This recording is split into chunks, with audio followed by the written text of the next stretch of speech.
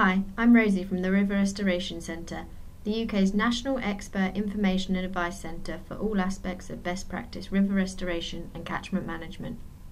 This is the third edition to our series of guidance videos funded by the Esmée Fairbairn Foundation. This video focuses on fixed point photography, a simple and cheap monitoring technique.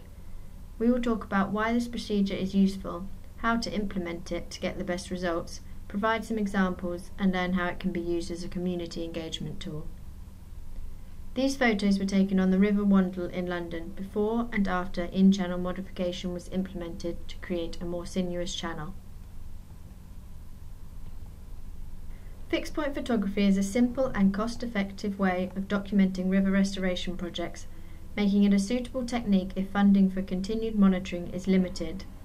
It can be used to monitor specific changes such as morphological developments, including erosion or deposition, feature formations, and cross-section changes, vegetation colonisation, habitat development, seasonality, and variation in flow conditions.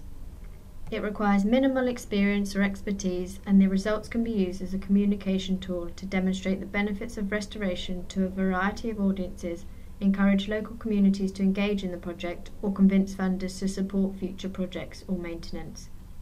Results can also flag up issues that might occur throughout the project by capturing progressive changes which will allow you to identify and adaptively manage any problems as soon as possible. Try to get into the habit of taking fixed point photos of your river even when a project is not planned, as they could identify a project. The photos here were taken on the River Cole in Coleshill when a reed bed was created and a small tributary stream was diverted to flow through it before entering the river.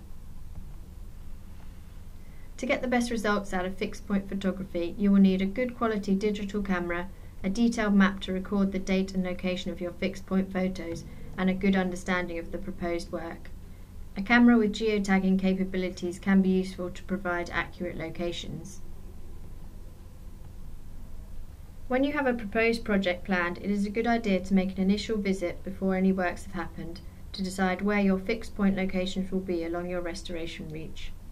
While getting photographs of the precise location of the restoration works is important, it can be useful to capture the whole project reach.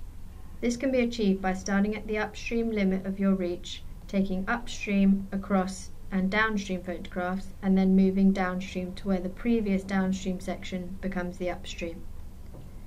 This may seem like a lot of locations, but you may only get one chance to get pre-works photos, so it's worth taking more than you think you'll need. It is also a good idea to have locations on both banks if they are accessible.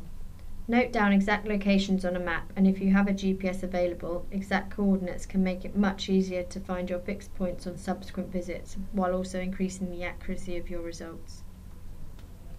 A simple photo labelling system can save time later on, so make sure you take the time on your first visit to work out and note down the labels for your fixed points. The label for each photo should include information on the project, the bank side, the fixed point and the direction, so on subsequent visits the same set of photographs can be taken from each point. In this example, MED is used to signify the River Medway Restoration Project, LB for left bank, the numbers 1 to 4 are the fixed points, and U, A and D indicate upstream, across and downstream.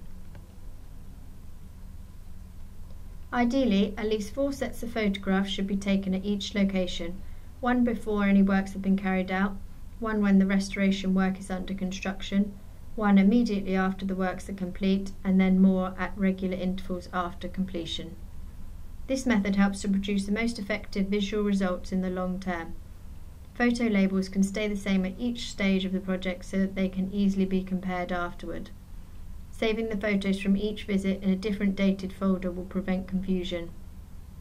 The photos here show the installation of brushwood mattress on the Great Ouse to prevent further bank erosion.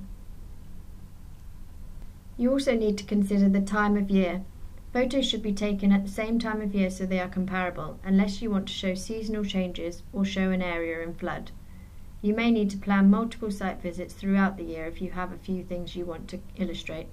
For example, improvements in low and high flows may require visits in summer and winter rather than annually. If possible, try to include unchanging features in your photos, for example, a hill, a building, a mature tree, a bridge, or a fence post. Consider vegetation growth as a small sapling may obscure future photos. The photographs here were taken on the River Rhee in Cambridgeshire and show colonisation of bank vegetation after the channel was narrowed. On the initial visit, make clear notes of locations in case someone else has to take the photos next time. Remember to take your location map as well as previous photos to help line up your new photos on all visits after the initial visit. Use the same camera with the same settings. Try not to use the zoom as this reduces the photo quality. Fixed point photography can also be used as a community engagement tool as part of a wider citizen science project. This will not only provide you with ample photographic evidence of your project free of charge, but will also help to engage the local community in your project and the local environment. This has been used in the Cairngorms National Park, where 14 photo posts have been installed so members of the public can take a photo using their mobile phone or camera of the same view. Instructions are given on each post about how to then upload these photos to a website where they are publicly available to easily view landscape change. This photo sequence was taken by a fixed camera set up to monitor the changes after the partial removal of the Goshen Weir in the Irwell catchment.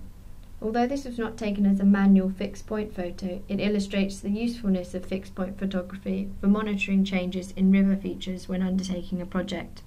All photos are courtesy of the Irwell Rivers Trust. These photos, taken by the Welland Rivers Trust, show before, during and after a reach of the River Welland was narrowed. These photos show the Rottal Burn in Scotland being re-meandered into its old course. Fixed point photography can be a really useful tool when undertaken accurately and can be especially informative when it's used in conjunction with other monitoring techniques.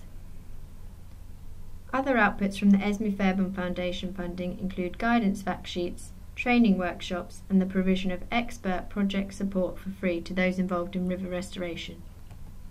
If you have any questions or want to comment on this video, feel free to get in touch with us. To find out more about the River Restoration Centre, visit our website and to keep up to date on news in the river restoration world, follow us on Twitter or Facebook.